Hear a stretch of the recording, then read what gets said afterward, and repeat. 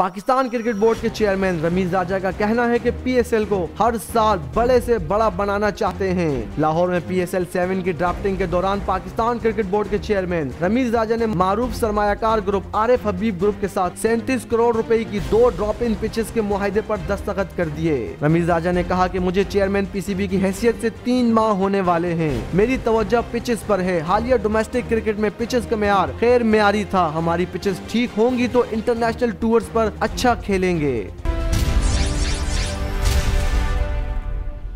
बोल ब्रीफ्स की वीडियो सबसे पहले देखने के लिए बोल ब्रीफ्स के चैनल को सब्सक्राइब करें और बेल आइकन पर क्लिक करना ना भूलें।